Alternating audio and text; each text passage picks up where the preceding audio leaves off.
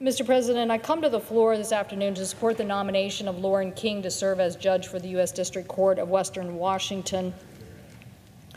I am pleased to have recommended her to President Biden. As a, as a citizen of the Muscogee Nation, Ms. King will be the first Native American federal judge from my home state and only the sixth ever on the native judge, uh, ever native judge in our country's history. She's extremely well qualified and has an abundance of tribal court experience, something that's very important in my state. We are home to 29 federally recognized tribes, and it's long overdue that our federal court system includes those who have a deep understanding and appreciation of tribal trust responsibilities and federal Indian law. And Ms. King has extensive litigation experience and is a recognized leader in tribal law.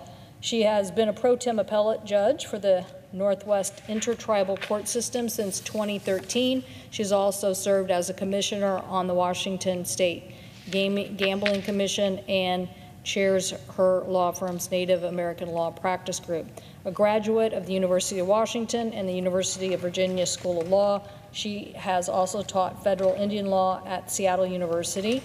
She has earned the support of the National Congress of American Indians and the affiliated tribes of Northwest Indians and leading Native organization. So I know she'll make an excellent addition to our court, the Western District of Washington, and I urge my colleagues to support her nomination.